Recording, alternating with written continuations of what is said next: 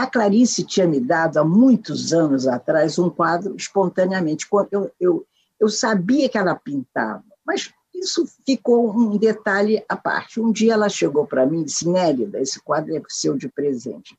Eu quero homenagear seu romance Madeira Feita Cruz. Madeira Feita Cruz. E era um quadro que eu tenho aqui, entendeu? Eu, como se fosse assim: uh, o Cristo, né? três cruzes, né? a madeira feita cruz, três cruzes, né?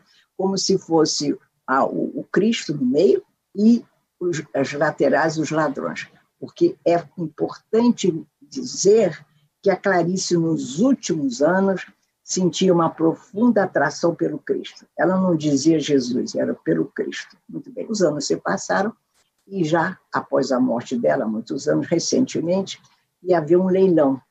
Eu fiquei, eu já tinha um quadro de Clarice, eu não tinha essa veleidade de ter que possuir um quadro de Clarice, mas eu fiquei angustiada, porque eu pensei, meu Deus, a essa altura da vida, eu não posso permitir que um, um bem de Clarice, feito com as suas mãos, eh, esse quadro possa ir para uma casa estranha, para um país longe do Brasil, ou seja, extrair um patrimônio brasileiro de nós, ir para um outro país, porque eu sabia que, que despertaria o interesse, sobretudo dos Estados Unidos, né? que tem, teriam condições financeiras de adquiri-lo.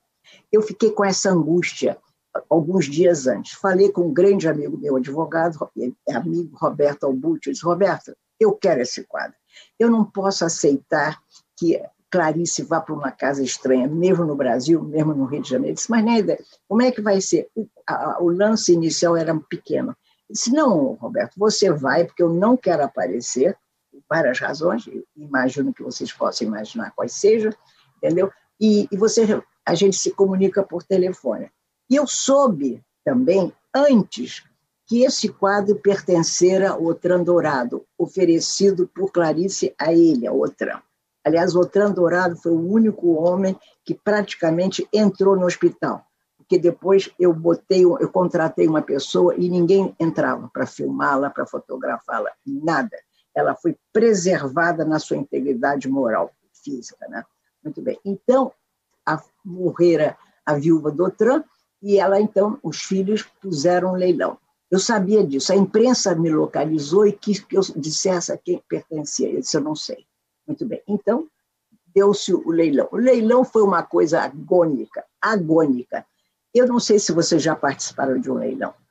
A sensação que você tem que você está num cavalo alado, né? um pegaço que territórios humanos e físicos, geográficos, e, e bom, e, e, tudo é possível. Eu comecei a avançar, avançar.